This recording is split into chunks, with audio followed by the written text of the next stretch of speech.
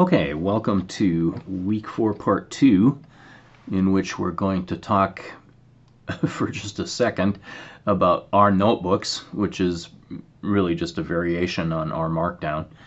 And we're going to look at some of the tools that are available in the Tidyverse for doing data wrangling. That is, reading in information from files or from online sources and then massaging that information by uh,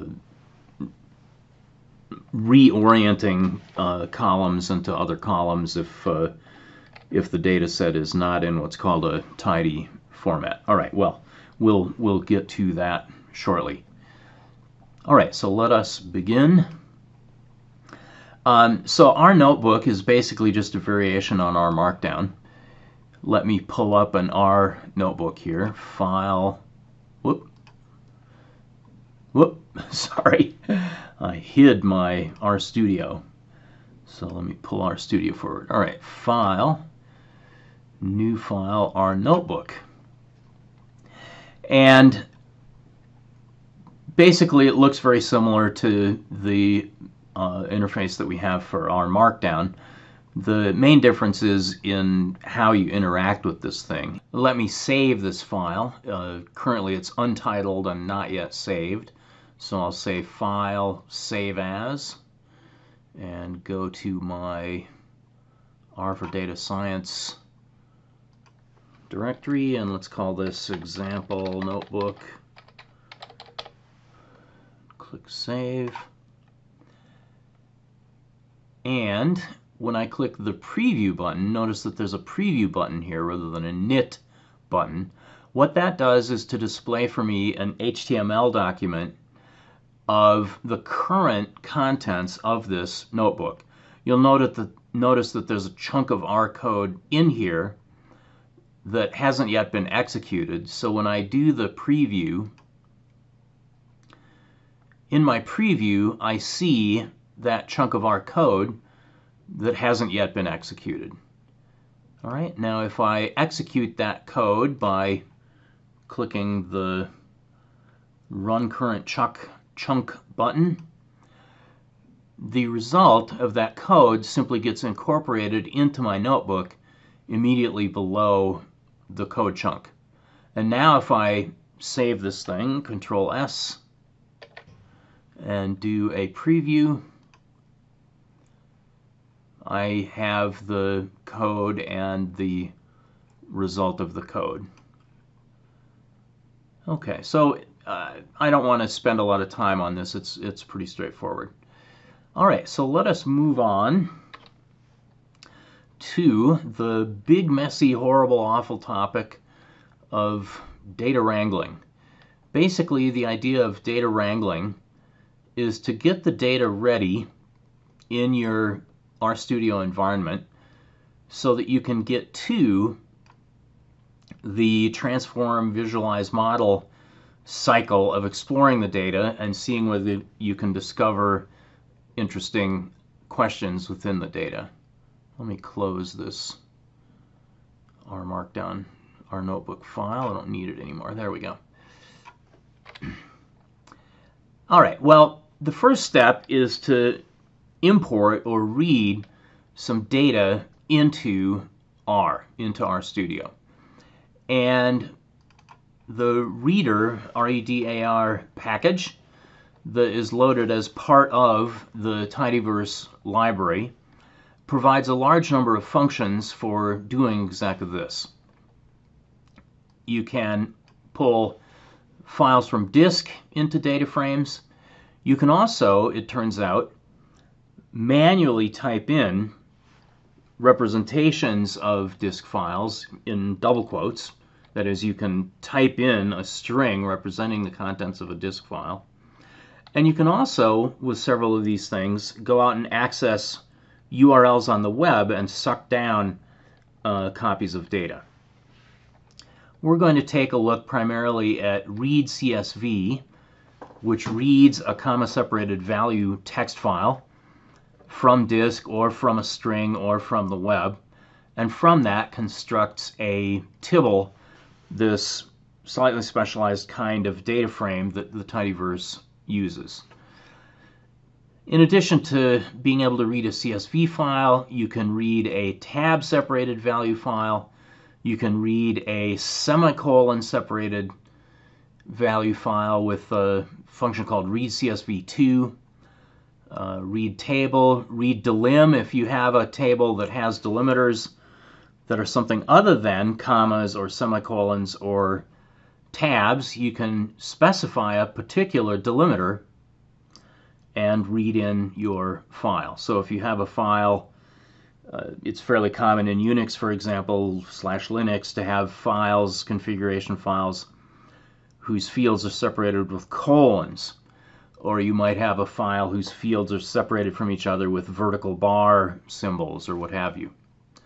There's also a tool you can use to read in a fixed width uh, file where the data is structured in terms of character column positions in this fixed width file rather than by uh, being delimited by comma or semicolon or tab or what have you.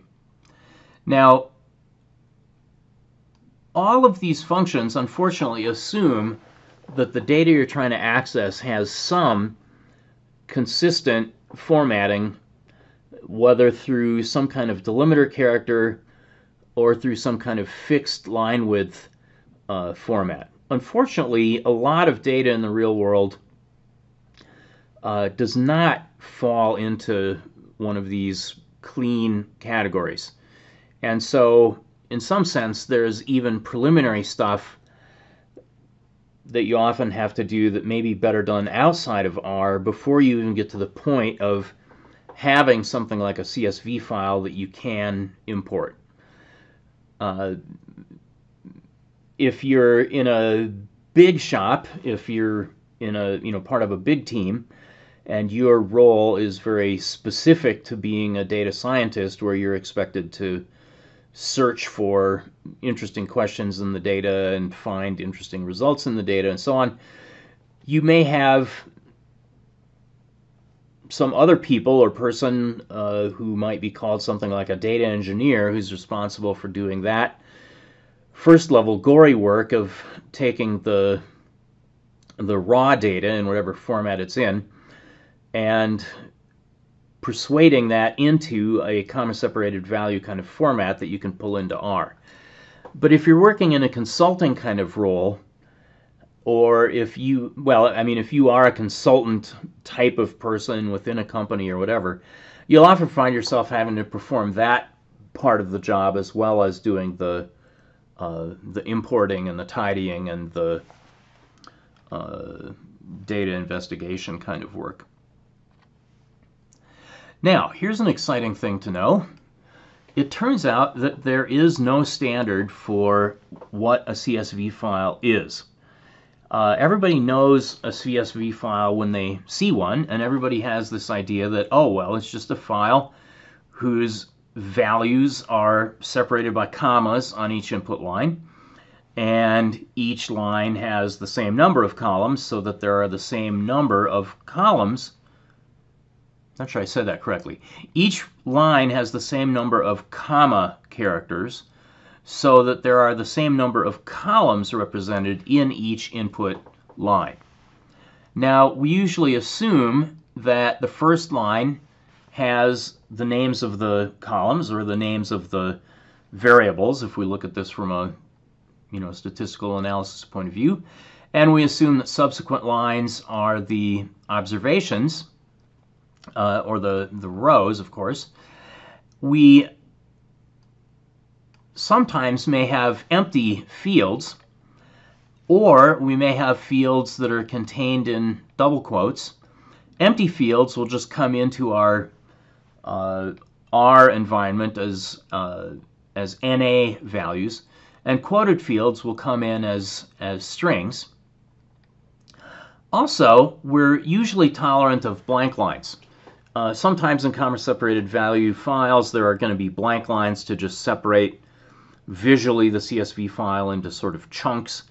And when we pull this into R, we're just going to ignore the blank lines and basically treat them as though they were comments or something like that.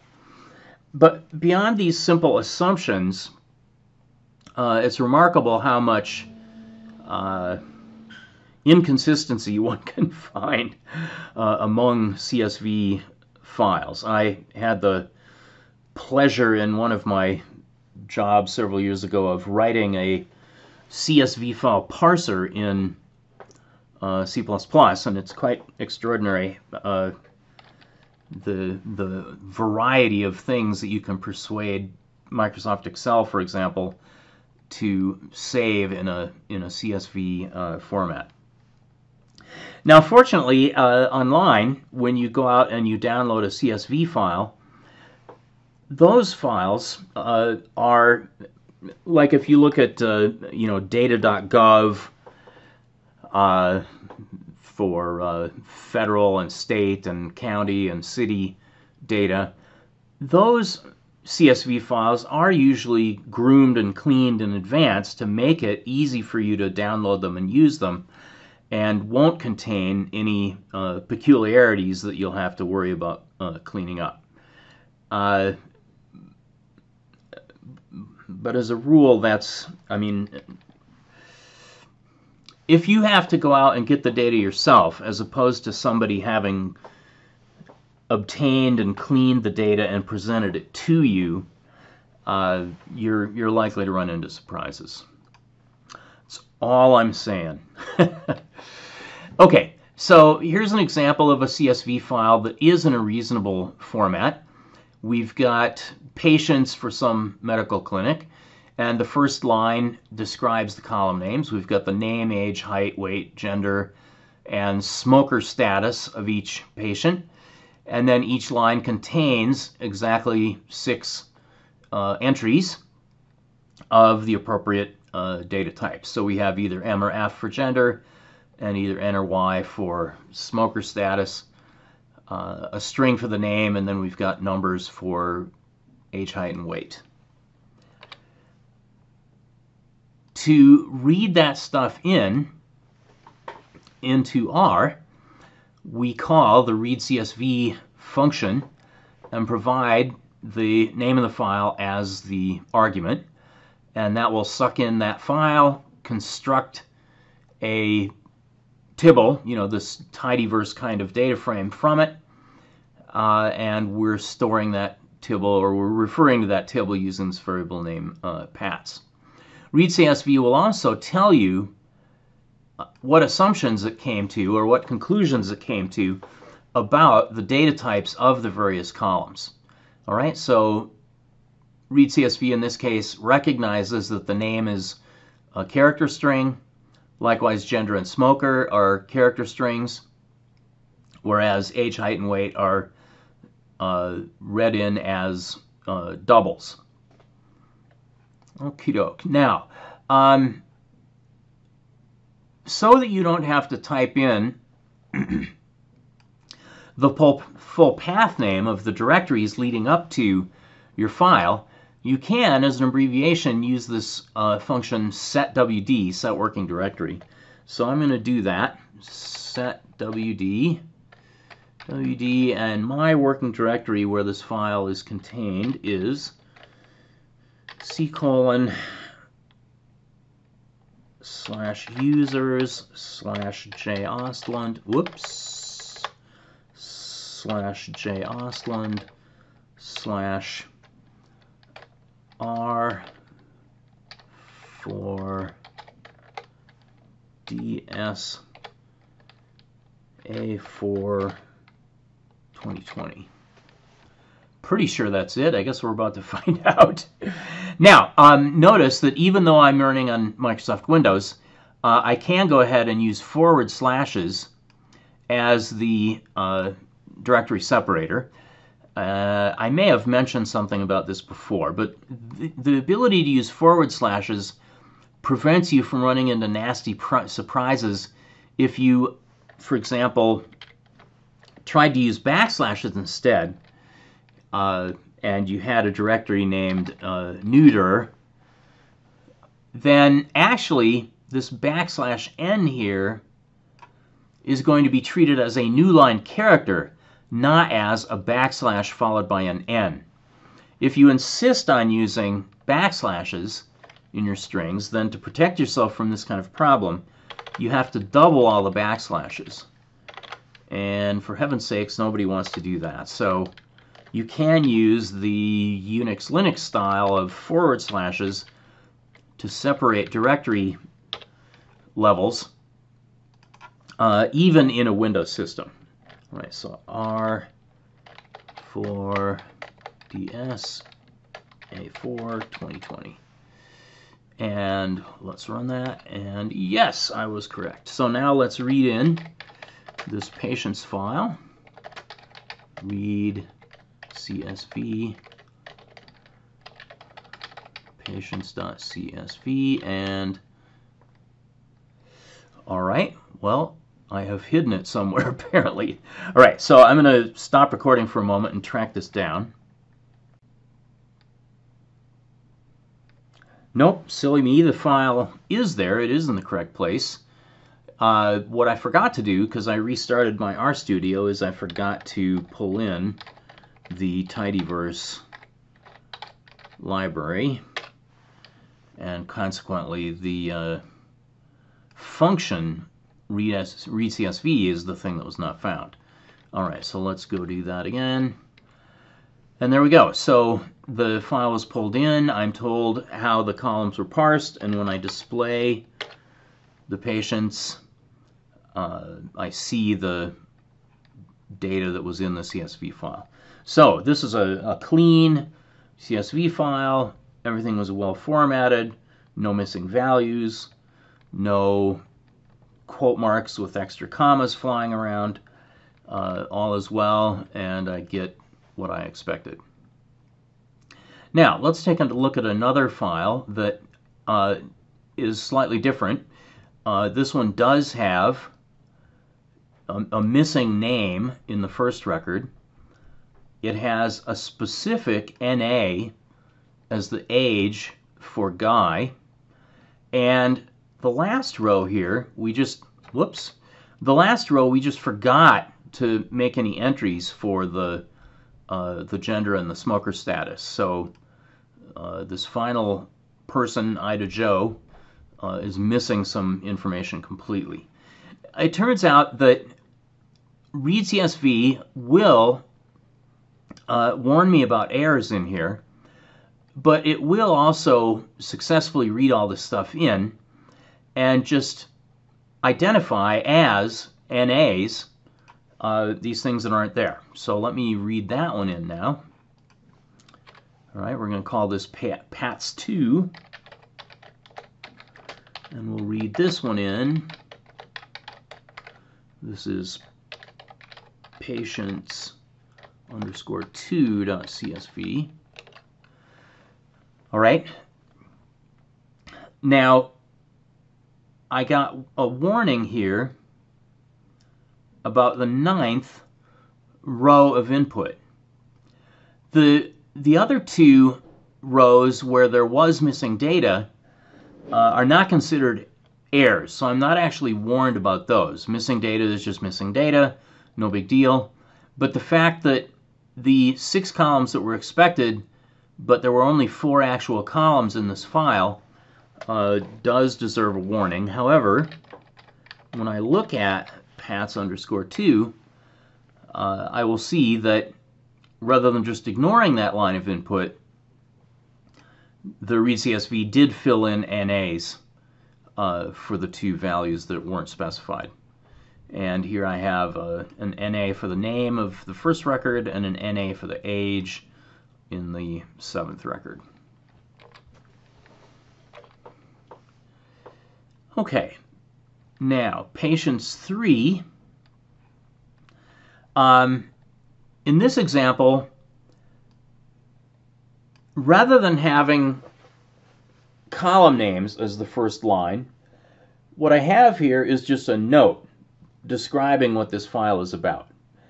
This is Patients of the Ortbus Medical Association. Um, and so this is uh, this is a line that I just want to ignore. And it turns out that the read CSV function is happy to let me just skip over some arbitrary number of lines at the beginning of the file. Also, later on in here, sorry, uh, later on in here we have a comment marked with a pound sign or sharp sign or hash mark or whatever you want to call that thing um, that the uh, you know person in the office has put in here to indicate, uh, gee, we've got to ask Guy's name when Guy uh, or Guy's age when Guy uh, came to the office. Now, there's no default comment uh, symbol uh, when we do read CSV, but we can specify a comment symbol to indicate to read CSV to ignore lines that start with a certain character. So we need to do three things here in order to successfully read in this patients underscore 3.csv file. First, we need to tell the uh, read CSV function what the names of the columns should be, since we don't want our column names to be patients of Ortbus Medical Associates, and we don't want the names of the columns to be Al 22, 71, 165. We need to tell read CSV what those column names are. The second thing we need to do is to tell read CSV to just skip the first line. And the third thing we need to do is to tell CSV to ignore any lines whose names start with a pound sign. All right, so let's see how we do that. All right, we're giving the file name as the first argument as usual. Then we're specifying this col names argument as a vector of strings. So let's do this. Pats underscore 3 is going to be read CSV from patients underscore 3 dot CSV. And continuing on. All right, now I prefer not to type this in, so I'm going to turn off my yellow highlighter so I can copy and paste this guy. Whoops, come here.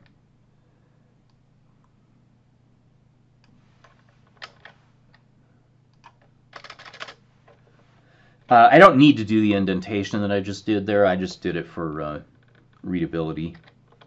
and RStudio threw it away. okay, cool. Um, so that specifies the column names.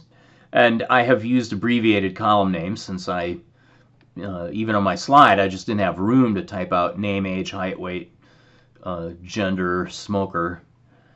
Um, I'm going to tell read CSV to skip the first line. And I'm going to tell read CSV that the comment character is the pound sign. All right. So I, have had to do. Uh, let me back up a step.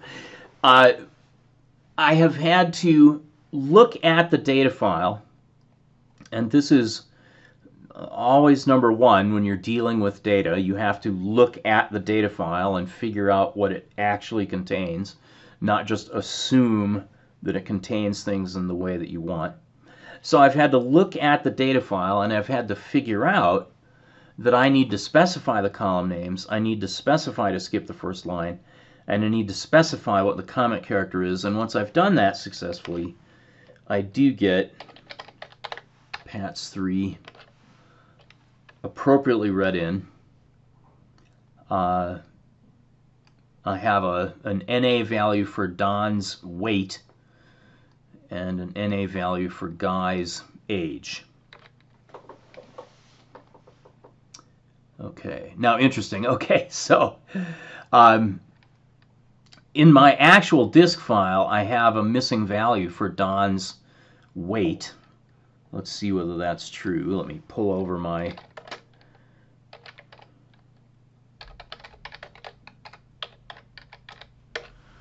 let me pull over my uh, Linux style window here.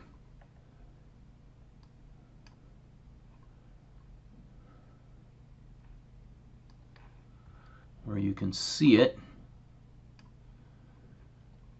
And indeed for Don, in the actual file I do have an NA for the weight. Uh, in the example file in the notes apparently I had replaced that with a 165. So I have a mismatch there, but that's that's okay. That's fine.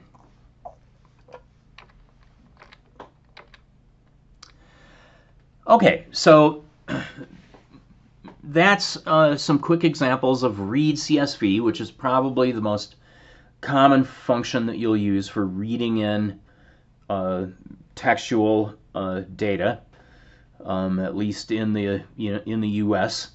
Um, in many countries where commas are used to represent what we in the United States use the decimal point for, that is to separate the the uh, the money amounts from the fractional money amounts, or or or whole number part from fractional part of numbers in general. Uh, you might need to use the read CSV2, which assumes that semicolons are being used as the field separator rather than commas. Okay, whatever. Now, for testing purposes, if, if all you're trying to do is to develop some testing code and you want a small little uh, tibble, a small little data frame that you can play with, it turns out that ReadCSV is smart enough to let you type in a data frame designation as a string. So here we have done as though uh, I have a file on disk containing these three lines of input. Let me just type this guy in. So Pat's uh, lit for literal here, read CSV. And what I've got here is a literal uh, comma separated value uh, file just typed as a string. So name, age, height, weight, that's line one. Now I can just hit the enter key and keep typing. Al is 22, uh, 71 inches tall, and weighs 165 pounds. I can continue hitting the enter key at the end of each line and keep going, or I can actually type in a new line character literally here. Uh, sorry, not literally, uh, symbolically as backslash n. Uh, so now I've got Bell 27, 68, 140. And there we go. So now I have manually typed in three lines as though that were the contents of a file. And Pat's lit is a data frame. And furthermore, ReadCSV is so clever that if I give a web URL for a CSV file, or for that matter, for a zipped CSV file, I can read that file in from the web. Uh, this happens to be the uh, Allegheny County Dog License Registry from the year 2018. All right, and I can copy and paste this thing in.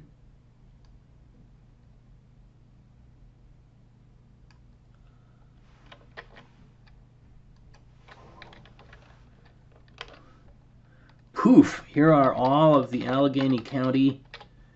Uh, I misspelled it. Who cares? Uh, dog licenses. Wait, why didn't that work?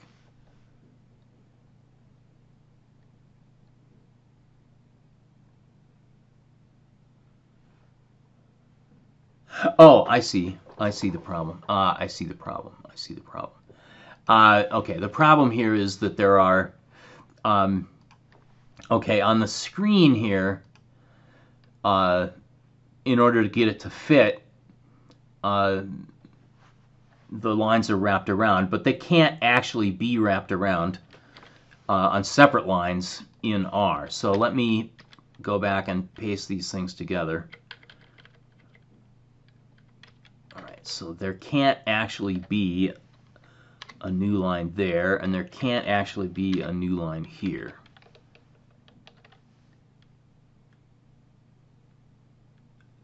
And I also need to put my LG County dogs and call the function read CSV. All right, so this, this time it should work because I've gotten rid of those uh, blank lines that I didn't want.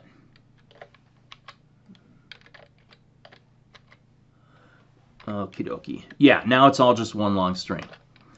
And it takes a few seconds. There, we pulled it all in, and here are the Allegheny County dog licenses for 2018. So altogether, 91,225 dogs licensed in Allegheny County.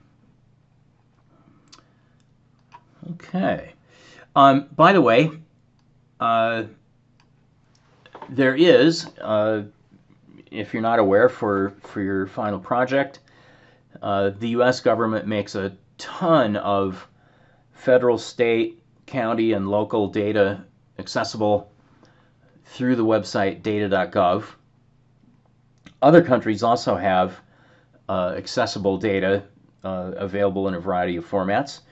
I chose one that was a CSV file. There are lots of other formats, uh, JSON files, XML files, uh, on and on. Sometimes these are zipped. Uh, ReadCSV will, will handle the unzipping in the case of a zipped uh, CSV file. Alrighty.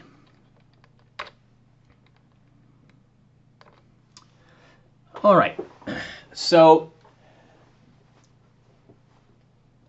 running these examples and accessing this online CSV file made things look uh, pretty straightforward, but in fact, there's a huge number of underlying decisions that have to be made in order to decide how to go about reading in a text file and representing that internally as a collection of character strings, double values, int values, and so forth.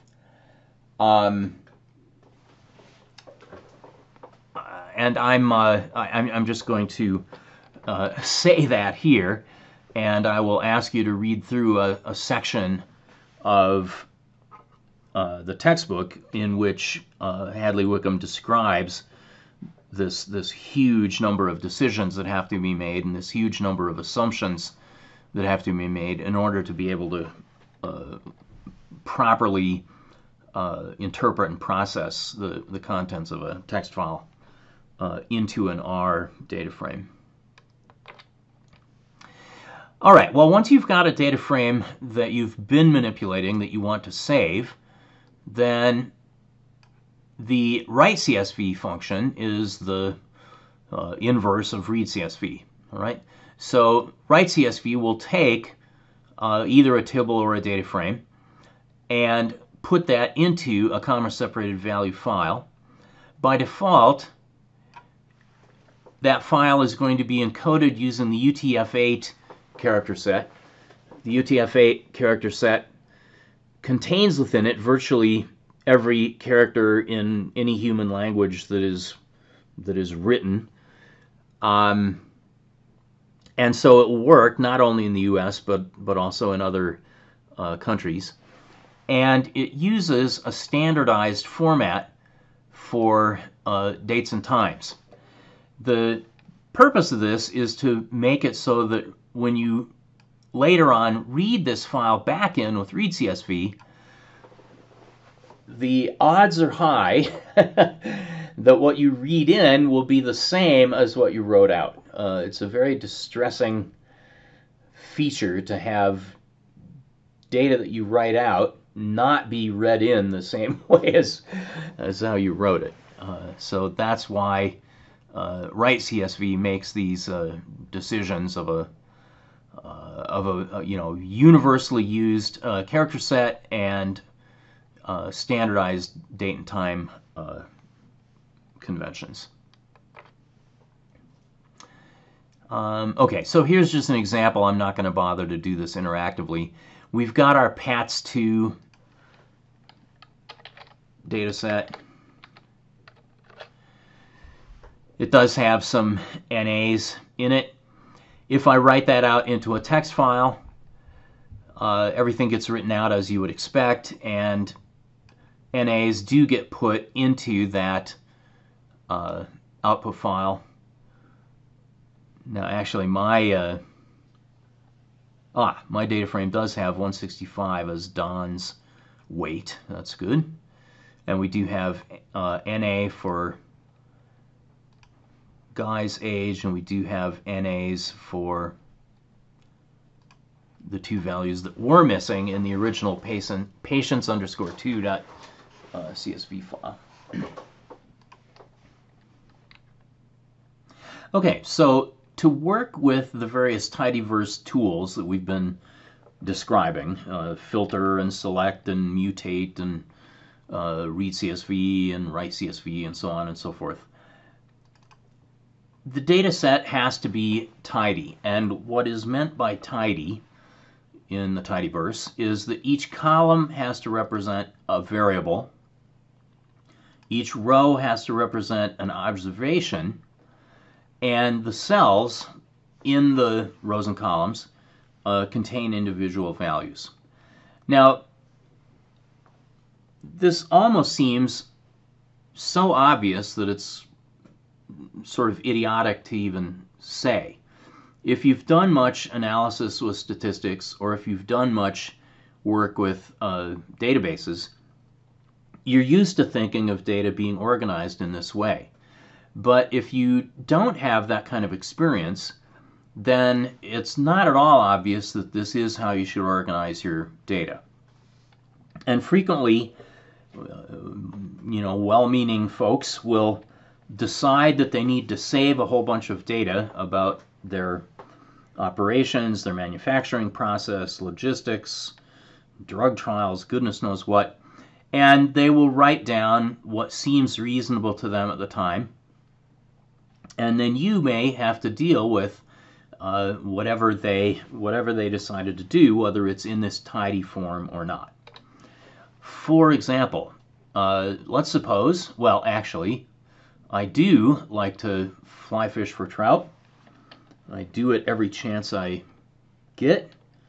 I had zero chances, zero chances during 2019. I'm hoping to have chances during 2020 once we're all released from isolation. And let's imagine that I keep a a journal of my of my exploits. Now I I don't actually do that. I rely on my memory instead. But let's suppose I've written down in my journal that uh, May 18th of last year on the Root River, on a cloudy and drizzly day, I caught three brown trout and two brook trout. And on May 23rd in Beaver Creek, uh, on a cloudy day, uh, I caught four brown trout. And a little over a week later, on the west branch of the Whitewater River, uh, with scudding clouds, I caught five brookies and a brown. All right? And people who keep proper journals will will you know add lyrical things about how wonderful it was that day blah blah. But this is the this is the gist of when I was there where I was and and what my uh, what my results were for what I caught each day. Okay now maybe I put this into a spreadsheet form. I decided I'd like to have some record of this that's better than just pencil and paper. So I type this information into a spreadsheet. I've got the date of the trip, the location of the trip, uh, the weather during the day of the trip, and then the number of brown trout and the number of brook trout that I caught. In July, I go out to uh, Yellowstone and do some fishing in the Yellowstone River tributaries. And out there, I catch uh, rainbow trout and cutthroat trout. Uh, I do catch one brown trout in the Madison River, and I also catch three rainbow trout and five cutthroat trout. So I add some columns for the for the rainbows and the cutthroats. Then I go down to Jackson Hole and fish in the Snake River. And then I realize, oh, cool. The Snake River cutthroat trout are a different subspecies from the trout I caught up in the Yellowstone River uh, system. There are both Yellowstone cutthroat trout and Snake River cutthroat trout. So I put in another column to keep track of, you know, to distinguish between the Yellowstone cutthroat that I caught and the Snake River cutthroat that I caught. And now I start kind of mulling this over because I'm planning to go I'm planning to go up to Montana to see if I can catch some bull trout. Uh, planning to go over to Utah to see if I can catch some Lahontan cutthroat and Bonneville cutthroat. And gee, you know, there's there's like a couple of dozen different kinds of trout. I'm gonna have my I'm gonna have my trout columns pretty quickly marching off the right side of my spreadsheet here, off the right side of my screen. And there are an awful lot of just empty cells in this in this uh, spreadsheet here. So as I think about this for a while, sooner or later I realize, you know, if I want to use this for some useful purpose, I really ought to think of each trout as being the observation rather than each date and location as being a you know combined key for my observation. And I should realize that the date and location are just attributes of the trout. Likewise, a species and subspecies are attributes of the trout. I could be more refined about the weather. Um, I could keep track of cloudiness and windiness and raininess and you know even temperature uh, as separate uh, attributes, separate variables. And I can think about adding some uh, uh, additional variables, like uh, what time of day was it, uh, how long was the fish, how heavy was the fish, blah, blah, blah. So what I want to do is to reorganize the data that I have into a tidier, a tidy form, uh, where each trout is an observation and the date the location, the weather, the type of the trout are variables or attributes of each of each fish. Um, all right, so that is to be uh, hoped for, that you find yourself in a situation where the uh, data that you're presented with has got some kind of confusion about some columns actually representing values that should all be converted into a single column with, you know, brook trout, brown trout, rainbow trout, Yellowstone cutthroat trout, Snake River cutthroat trout as as as values within that particular column and so on. But sometimes your situation is is much much much much worse uh, for example, one job that I was involved in uh, where we were analyzing data for a client, this was a, uh, well, this was a, a U.S. military uh, branch, and they were doing maintenance on certain kinds of equipment at various bases all over the world. And they had a log, a, uh, database of all their maintenance actions. Okay, and so each maintenance action had a record associated with it. The first thing in the record was a unique job ID number. Then there was a date and a time and a base identifier and the specific uh, serial number of the uh, of the equipment that was being maintained, uh, and then a variety of fields describing uh, you know why the maintenance was required, uh, whether it was being done on a uh, you know because the thing was broken or because it was routine maintenance, blah blah blah blah blah. And then the last field, which is often the case, the last field was a uh, free text description uh, field, and all of this data was being entered by the mechanics at all these global uh, facilities. You know, this is a really common kind of thing uh, for uh, data being gathered by people who are not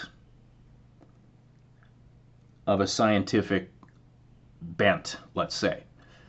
Um, and what we discovered as we worked with this data, and it literally took us, it literally took us months just to understand the data, uh, was that um, you know the mechanics are being required to enter this information into the system.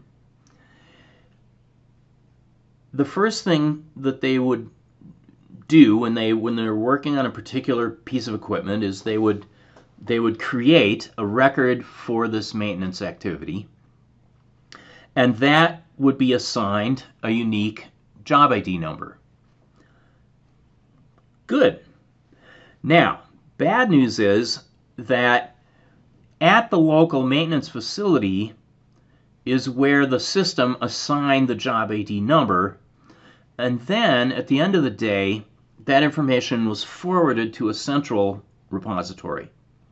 What that meant was that if in two or three or four different locations at approximately the same time on the same day, people entered information about work they were going to do, in fact, the same unique job ID number would be assigned to all two or three or four of these different locations for this different equipment. So often the job ID number you know, in one location would be about a totally different kind of equipment than than the same job ID number uh, in in some other uh, location.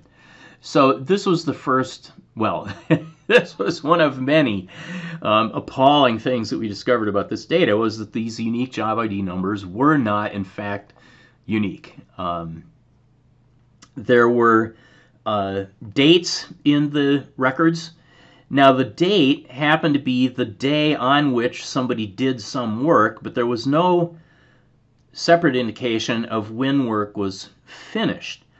And if two different people were working on the same piece of equipment um, on the same day or on different days, there would be uh, two different records for those two different people on the same day or on different days with that job ID number, and there was never any indication of when work was completed and whether the completion was uh, successful.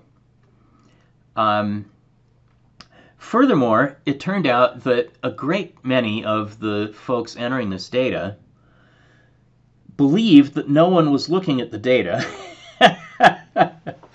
and so they would just slap in whatever they could get away with.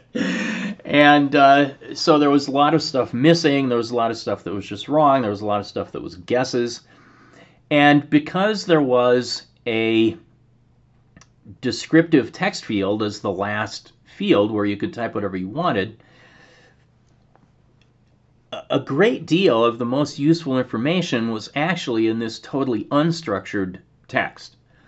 Uh, it took a very long time for us to uh, to figure out uh, uh using uh, you know editing and regular expression matching and blah blah blah to to try to suck some interesting information out of that unstructured uh, text. So don't be shocked.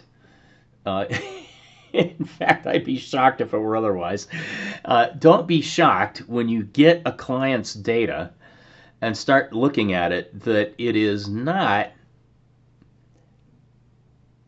even internally consistent, much less tidy. So there's often there's often some some some some gore that you have to go through uh, uh, to get the data to the point where you even have a prayer of making it uh, tidy in the in the tidyverse uh, sense of things.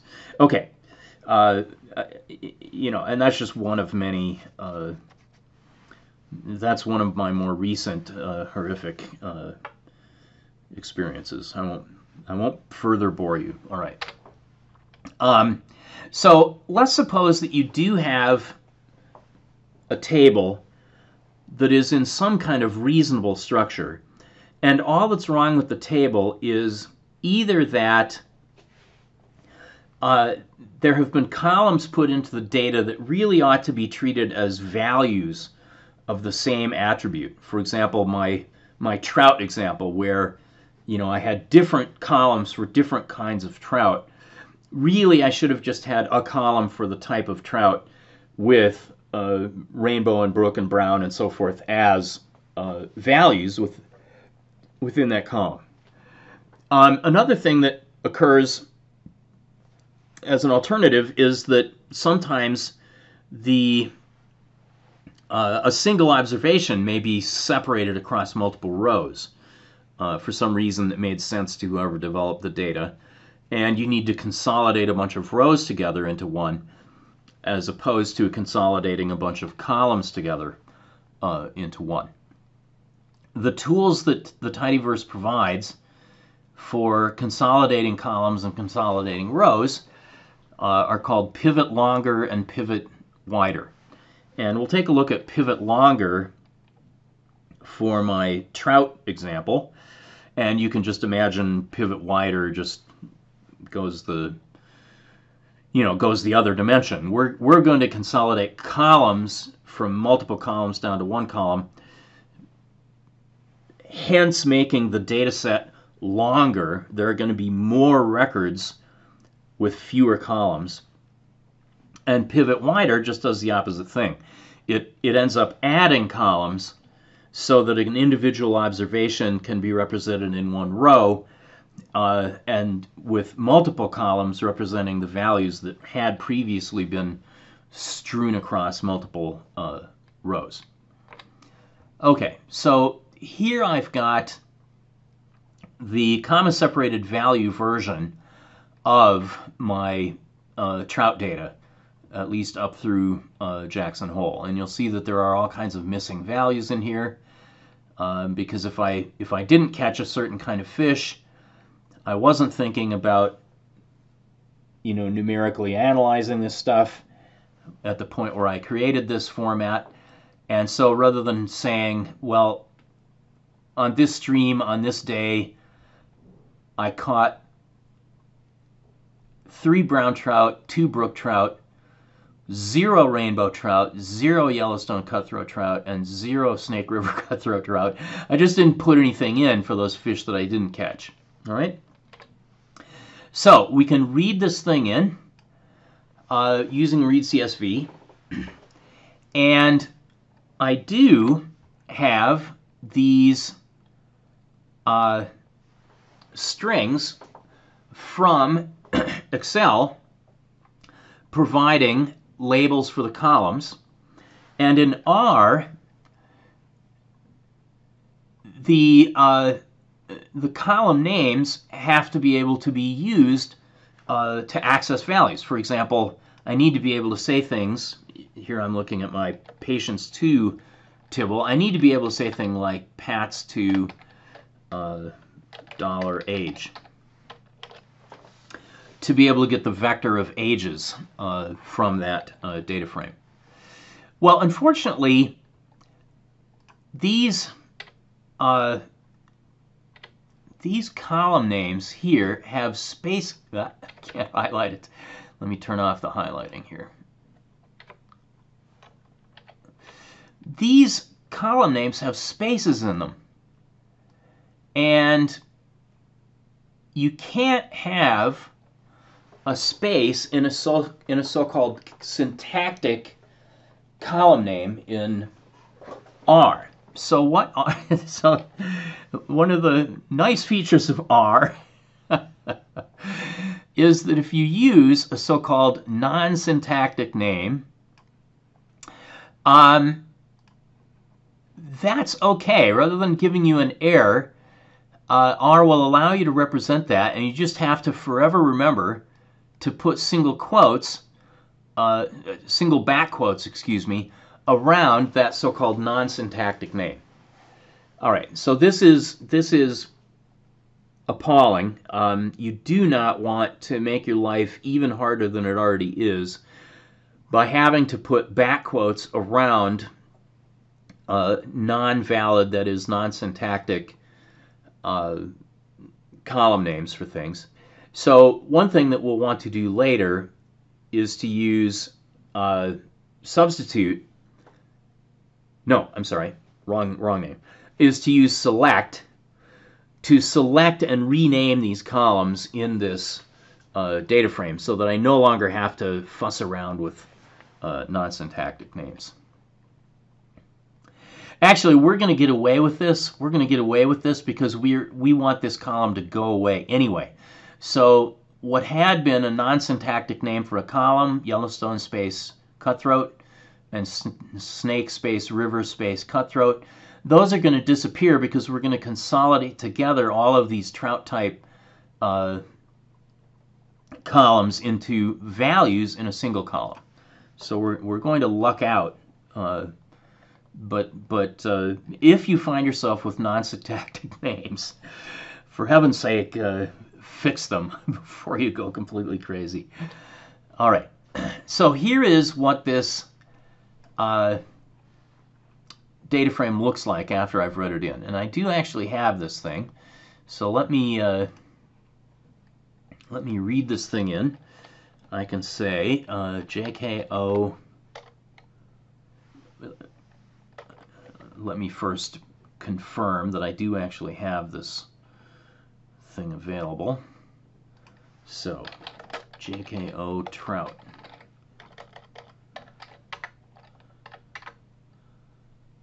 Okay, here's the, uh, there's the Excel spreadsheet, which is, of course, binary. And here is the CSV version of the spreadsheet.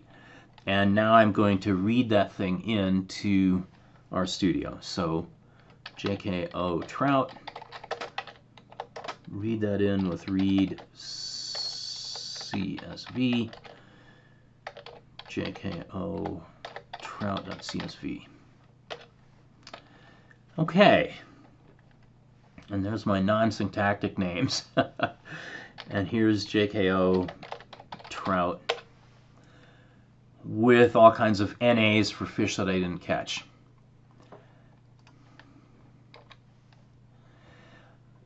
All right, so we want to use pivot longer to take all of these trout type column names, I've got five of them so far, and turn them into one column with the original cell names, okay, brown, brook, and rainbow, stored as values in the new column.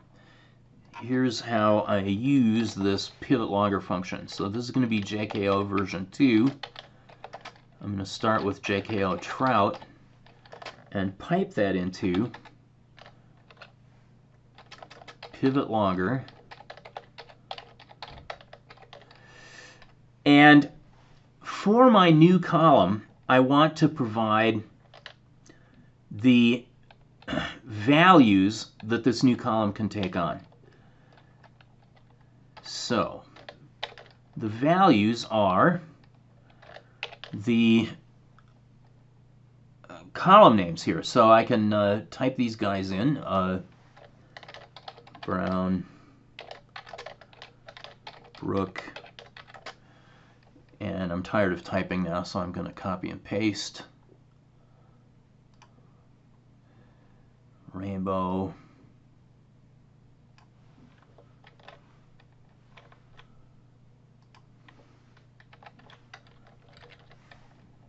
Rid of those parentheses so I can type more stuff on the next line down, and then I've got my Yellowstone cutthroat.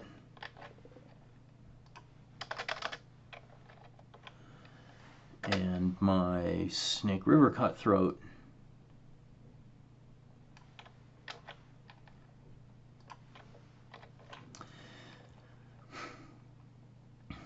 Okay, so those are the columns. Those are the names of the columns that I want to collapse into a single column. The name of the new column in which these columns are going to be values is called uh, just type. Maybe I should say trout type. Okay, so uh, I'm going to have a column trout type and the columns brown brook, rainbow, Yellowstone cutthroat, snake river cutthroat are going to become types within that column. Then the particular values that were within these cells um, have to be accounted for somehow. And those values are going to go into a second new column called count. Okay, so so instead of having brown 3, brook 2, rainbow NA, I'm going to have three rows where there will be trout type and brown will have the value 3, brook will have the value 2, and rainbow will have the the count, excuse me. All right. Brown will have the count 3, brook will have the count 2, rainbow will have the count NA. So let's see whether that does as I claimed. JKO V2. Yes, so instead of brown brook, rainbow, Yellowstone cutthroat, Snake River cutthroat, I outclevered myself and created a non-syntactic column name, uh, trout space type, in which the types of the trouts that used to be column names are now values. Okay, so uh, 18th of May 2019 on the Root River on a cloudy and drizzly day, the brown trout that I caught were three. And on that same day, same place, same weather, the brook trout that I caught were two. Uh, the rainbow trout, Yellowstone cutthroat trout, and Snake River cutthroat that I trout were were were none, not not available. Uh, those NAs, you know, really ought to be zeros, or I can just eliminate them entirely. All right, so actually, I also want to get rid of this count field because as I've been thinking about this, I've realized, you know what? Um, I might be interested in keeping track separately for each trout, uh, how long it is and what its weight is. So I'm interested in more detail now on my future trips. I don't want to just know, oh, I caught three brown trout. Um, because catching a 24 inch trout is a whole heck of a lot different experience than catching an 8 inch trout. So I might want to add length and weight columns. And therefore, I want to separate out each one of these counts into a separate row to represent a separate trout. Turns out there is another nice tidyverse function I can use called uncount that will take a column of counts and eliminate that column and instead replace that one row with that count to that count many duplicate copies of the row. Uh, so instead of having uh, 18 May 2019, Root River, Cloudy Drizzly, Brown 3, what I'll have is three rows that all contain 18 May 2019, Root River, Cloudy Drizzly, Brown. All right, I'll have one copy of that row for the first fish, another copy of that row for the second fish, another copy of that row for the third uh, for the third fish.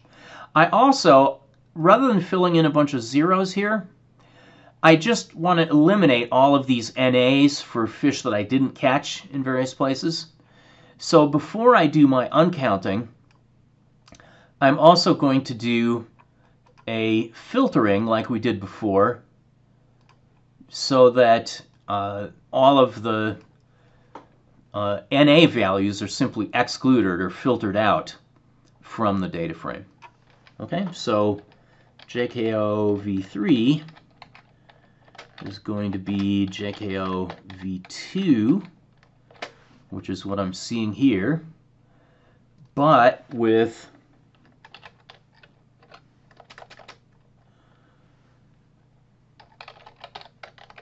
the is not counts excluded or filtered out and with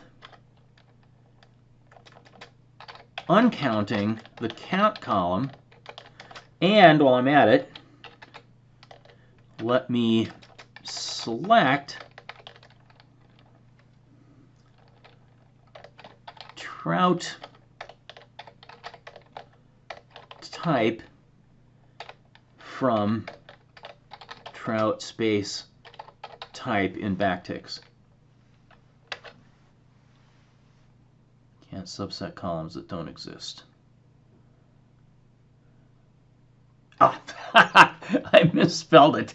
Silly me. All right, I got, I got. Uh, so let me, uh, let me try this again. So we're gonna do that step, and then the filter out the not NAs, and then the select, the uncount, and then I will do my select, but I will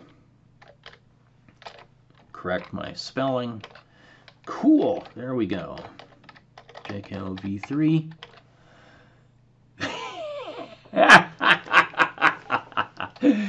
uh, okay, you probably see what I forgot.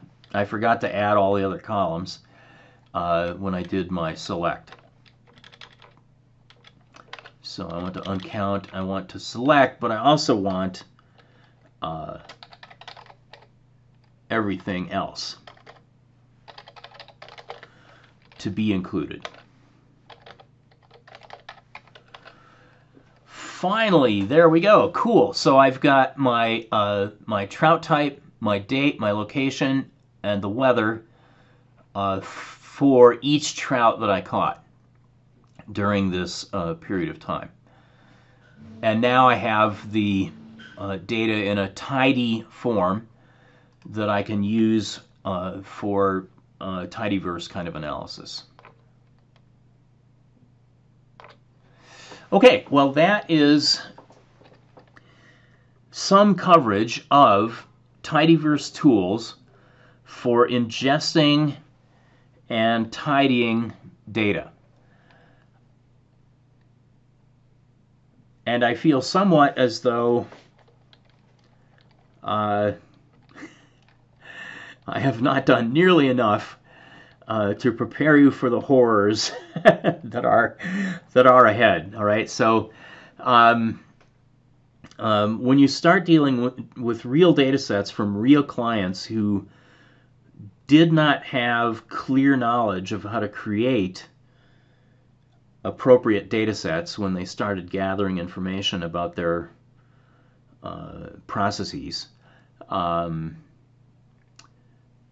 you know, you will need to know about how to read the data in, and you will need to know how to tidy the data once you have read it in.